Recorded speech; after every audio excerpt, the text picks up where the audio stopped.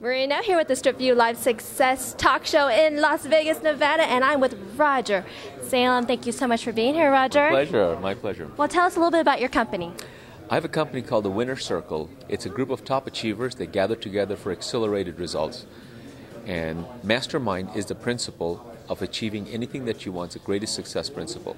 I am a huge believer in masterminding. Now, tell me about the, the high achievers. Is this achievers in certain industry or business? These are primarily all information marketers. They're in the real estate gurus. Oh, okay. They're all the big name real estate gurus.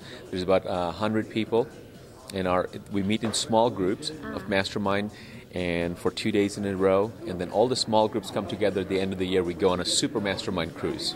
Right on. So, the next question I have for you the real estate market. There's so much going on right now.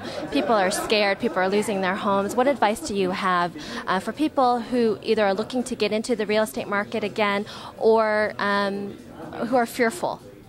two things that if you are losing your home then that's a different kind of people that we're talking about and somebody wants to getting into real estate that's our investors if you're losing your home right now the banks are more scared than you so this is the time don't be scared loan modification find a professional and to talk to the bank on your behalf to make most people have gotten into trouble because they got those teaser rates and now it's Right. gone up. So now is the time to talk to the bank and the bank will negotiate and get you because they lose more if you leave the home. Ah.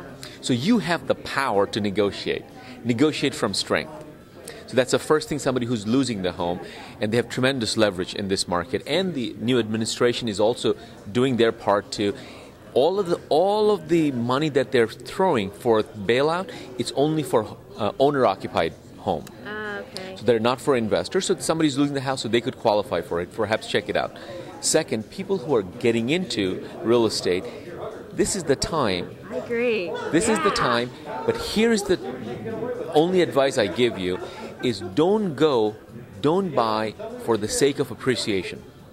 The old model that "Oh, I'm going to buy and then uh, it's going to go up tomorrow, nobody knows. Has a, this could go on for 2 years, could be go for 10 years.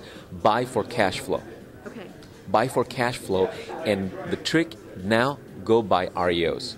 REO is real estate owned. All the houses that the banks have foreclosed, the bank has to dispose them. They're motivated sellers.